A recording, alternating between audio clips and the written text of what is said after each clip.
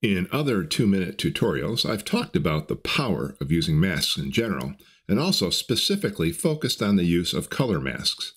With color masks, you can create a mask that targets portions of the image that have a specific color. These masks are most often used to enhance those colors.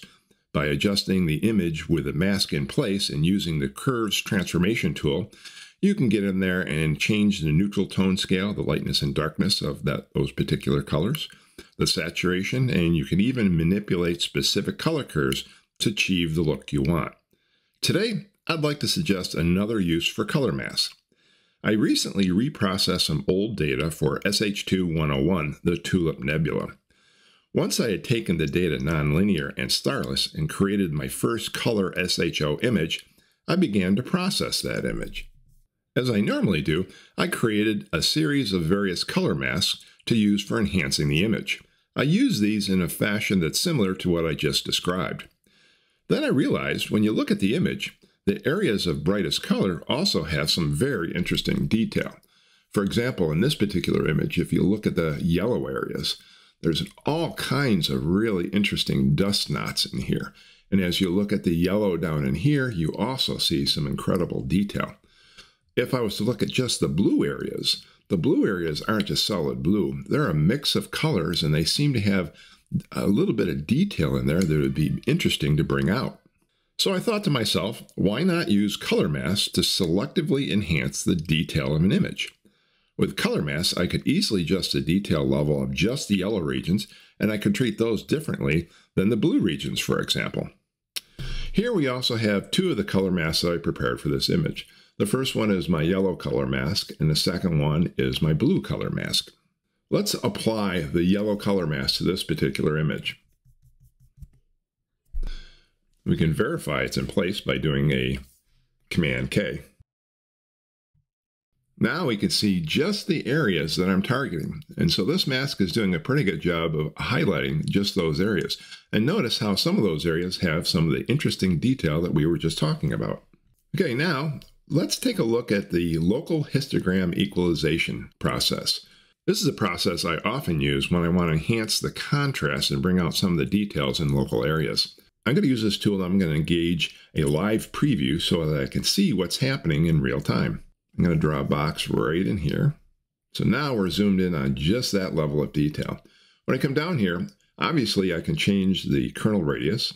I can change the contrast limit. I can change the amount. I can even change what histogram resolution is being used. But since we're dealing with small detail here, I figured the default isn't too bad. And what I can really do is start playing with the amount slider to see what looks good.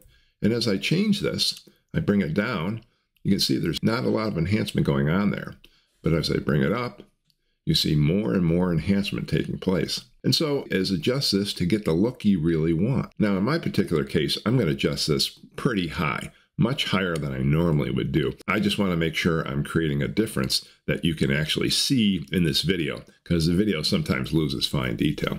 So let's say I like this particular setting. I can come up here and I can turn the effect on and off to get an idea of with it and without it. So that's with it. That's without it.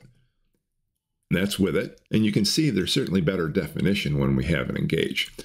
So, like I say, this is probably stronger than I would normally use, but let's go ahead with that for the purposes of demonstration. Now that I've figured out what I want to do there, I can just get rid of this particular window.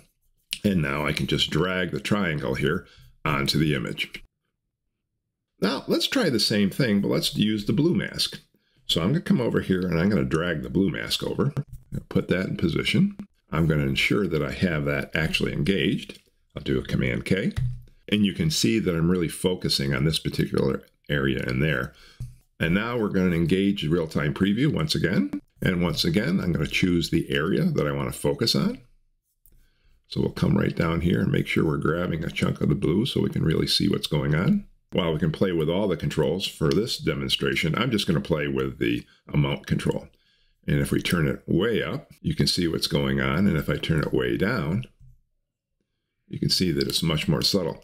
Now, it's interesting, there's not a lot of detail in there. So what you're bringing out is much more subtle on the blue, and you might want to be more aggressive to bring out more. So let's say I brought it right there. Let's see what it looks like on and off. There's with it off, there's with it on. And with on, this little arc is, has much better definition and some of the variations in the background look a little bit better. Let's turn it up a little bit more. Again, I'm going to do this more than I would normally do for an image just to get a feel for it in this particular demo. Without, with. So now I've been able to really apply a different level of sharpening there.